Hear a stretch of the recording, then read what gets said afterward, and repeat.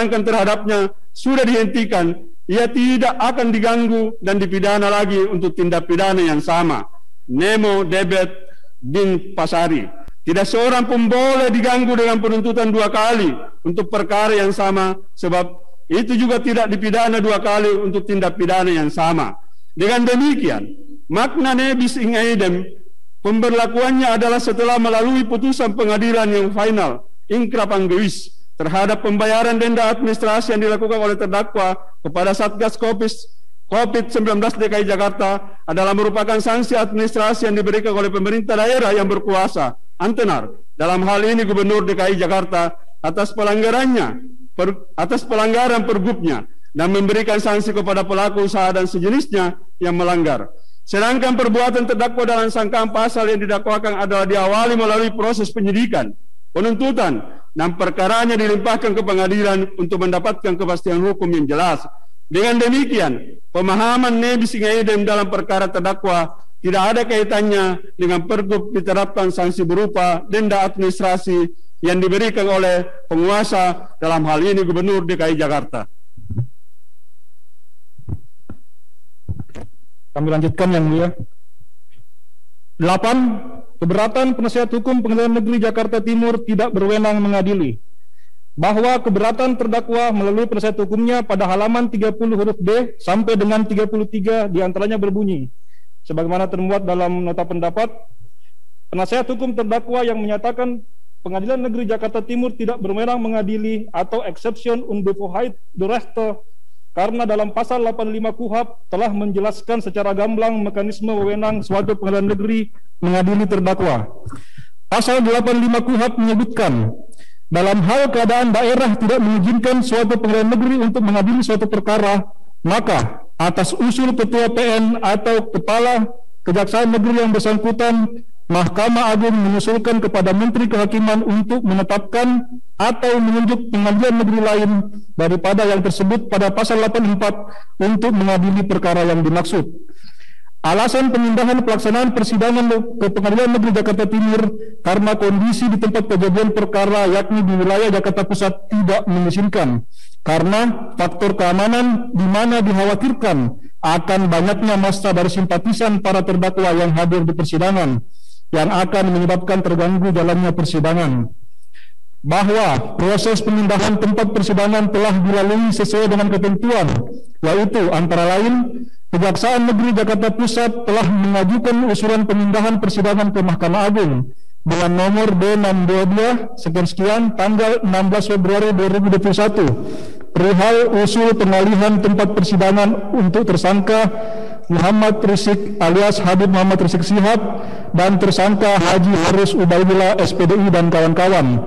Dan atas usulan tersebut Mahkamah Agung mengeluarkan penetapan pemindahan sidang ke Pengadilan Negeri Jakarta Timur dengan nomor penetapan 4 sekian tanggal 24 Februari 2021 tentang penunjukan Pengadilan Negeri Jakarta Timur untuk memeriksa dan memutus perkara pidana atas nama terdakwa Muhammad Rizik Sihab dan kawan-kawan.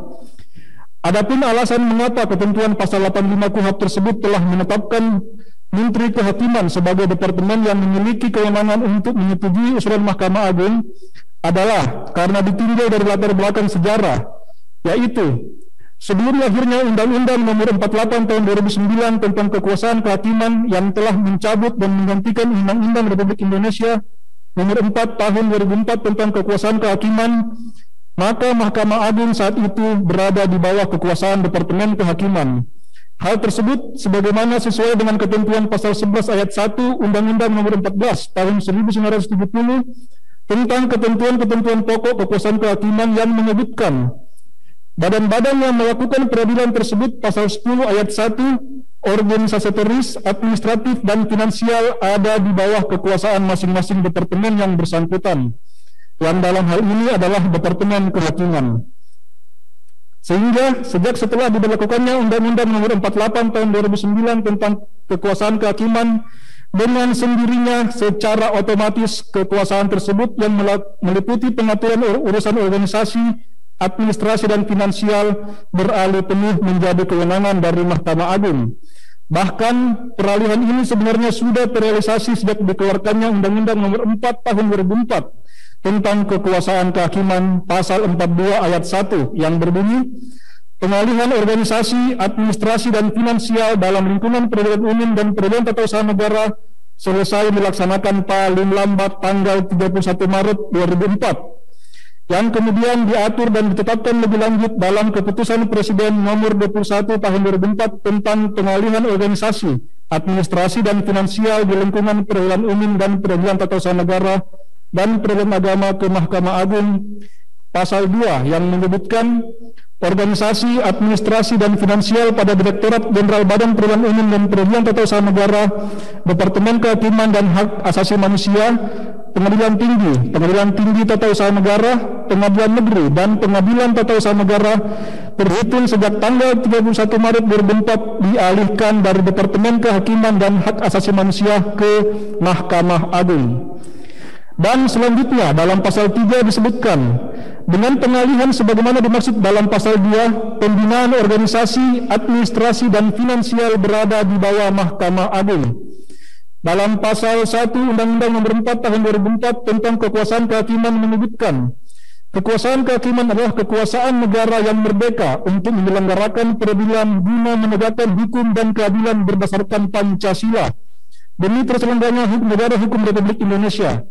Sedangkan dalam pasal 2 menyebutkan penyelenggaraan kekuasaan kehakiman sebagaimana dimaksud dalam pasal 1 dilakukan oleh sebuah mahkamah agung dan badan peradilan yang berada di bawahnya dalam lingkungan peradilan umum, lingkungan peradilan agama, peradilan militer, lingkungan peradilan tata usaha negara dan oleh sebuah mahkamah konstitusi. Sehingga penyelenggaraan kekuasaan kehakiman berada di tangan Mahkamah Agung.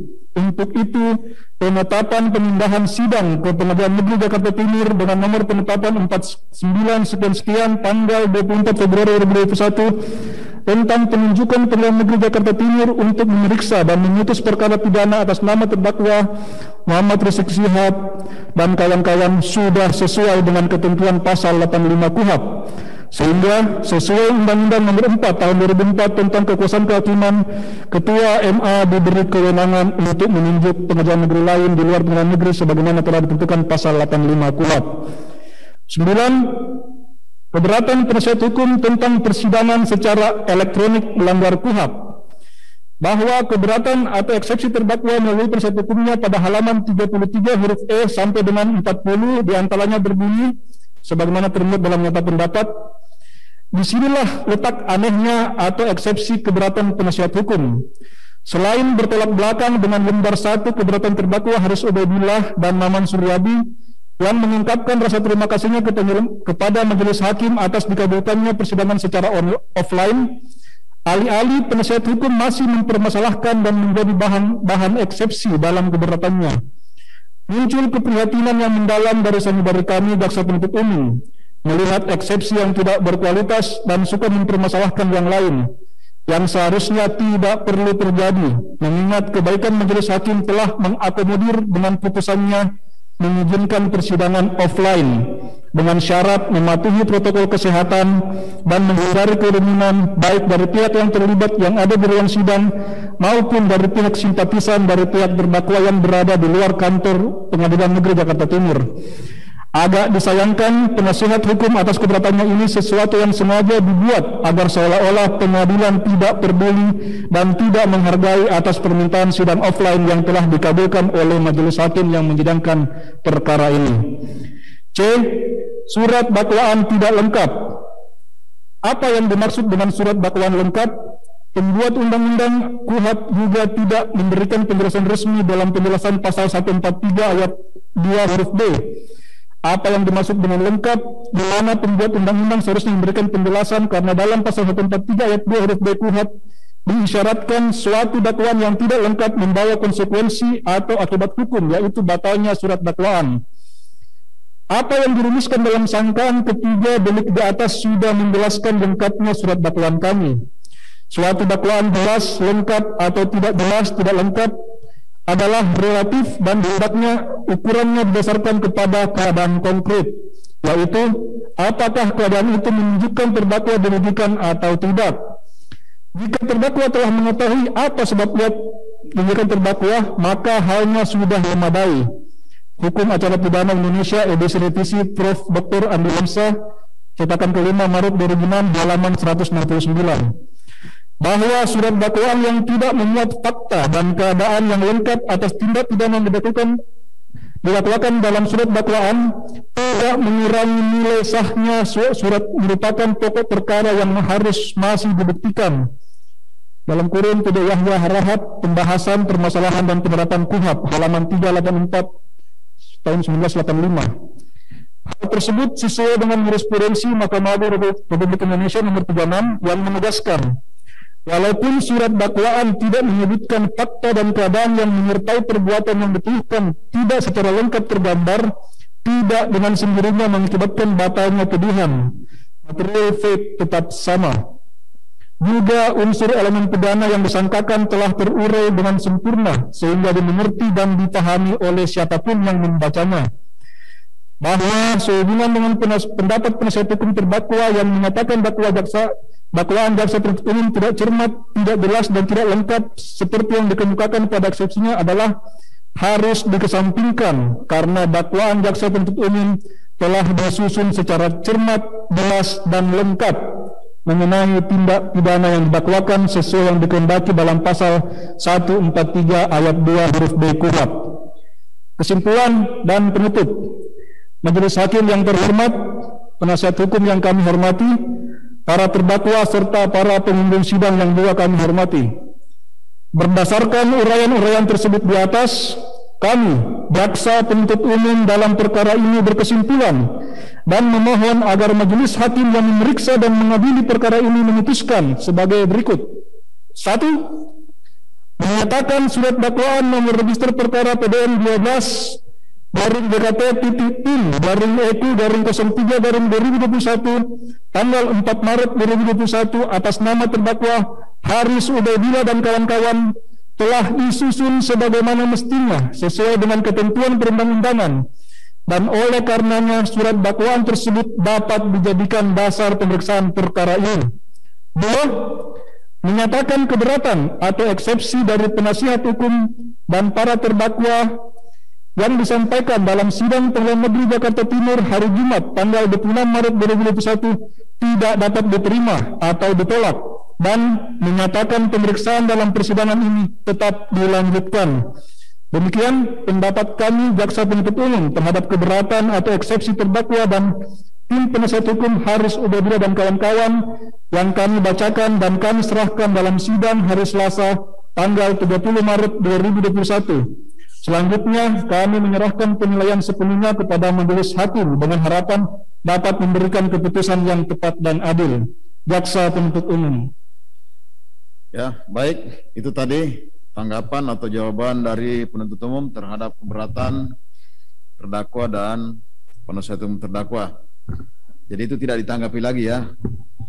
Nah, kemudian giliran majelis hakim akan menjatuhkan putusan terhadap uh, keberatan ini ya mempertimbangkan keberatan dan jawaban dari penuntut umum. Putusan nanti akan dibacakan pada hari Selasa tanggal 6 April. 6 April 2021 terdakwa semuanya kembali dulu ke tahanannya nanti sidang dibuka kembali pada hari Selasa tanggal 6 April 2021 sidang ditutup